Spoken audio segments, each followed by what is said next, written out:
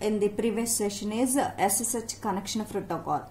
Uh, here the connection protocol multiplexes the encrypted uh, data and tunnel into several logical channels. Uh, here this uh, um, SSH connection protocol this is SSH uh, transport layer runs on SSH TL transport layer protocol. This is a secure authentication connection which is called tunnel. So uh, what is meant by tunneling already I am explained in the previous session. Data is transmitted in the encapsulated format encapsulated format from one network to another encapsulated format from one network to another. So next one is used for multiple logical channels. Data is transmitted from client to server using multiple logical channels are implemented. Single packet is transmitted from client to server using different types or so many logical channels are implemented. SSH communications use separate channels either side with unique ID number. Each um, either side generating the channel is established between client to server or server to client.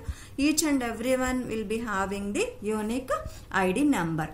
Flow, uh, flow control mechanism is implemented for the data transmissions in our networks. Here we are implementing the important and famous algorithm or famous uh, flow control mechanism. Sliding window protocol mechanism is implemented for the flow control from client to server or server to client having and here in this connection protocol we are having three stages first opening a channel next one is data transfer uh, next one is closing a channel opening closing and data transfer.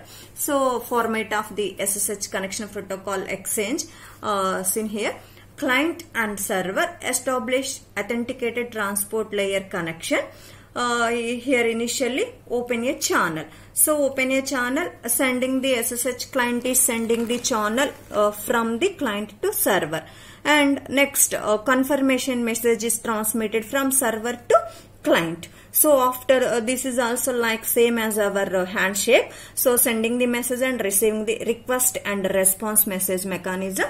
So afterwards after the establishment of the connection data is transmitted from client to server and server to client. After completion of data transfer again close a channel. So mainly three types of channels are implemented. Open data transfer and close a channel so this is the overall review about SSH or secure shell mechanism, different types of protocols, how they are implemented and how they are communicated. So this is will be completed and next to leftover protocol in this one overall it is a HTTPS.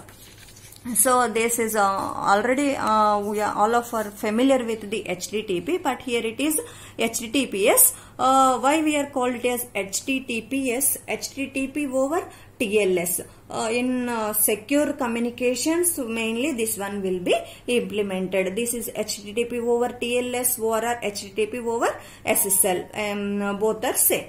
So combination of HTTP and TLS is the HTTPS protocol. Secure communication between the web browser and web server. So our in our web security considerations we are uh, discussing this topic. So secure communication is established between the web browser and web server mechanism and client server architecture. This will be already discussed.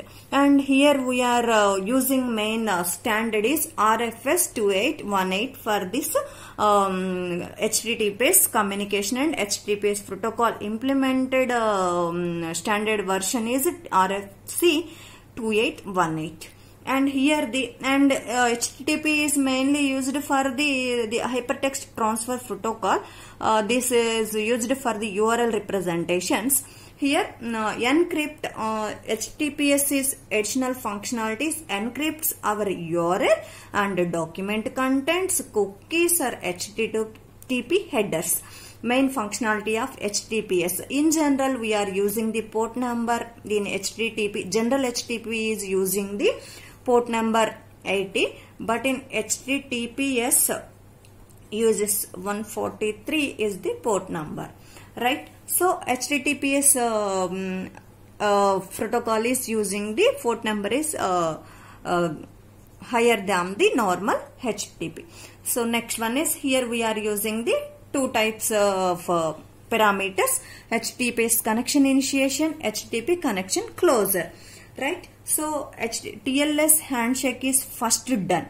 So in any way connection is uh, connection uh, establishment procedure handshake is used.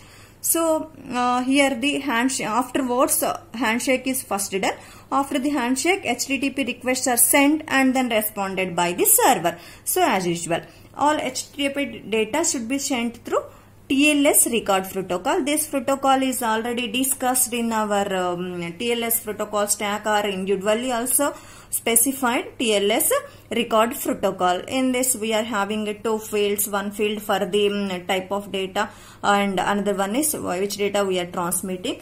Record protocol is already discussed in this HTTP also uh, using the main protocol is record protocol. Uh, next one is HTTPS connection closer. Normally causes to close the TCP connection, there exists connection close item in HTTP headers. Uh, normal uh, handshaking or normal HTTP protocol generally TCP is connect the system or uh, connection will be closed by the TCP. In this uh, TLS, in this uh, HTTPS, TLS protocol is used for the connection closures. why we are using the TLS? This will be implemented in the transport layer security. So that's why here using the for the connection closures TLS protocol. This will be done at the level of TCP level.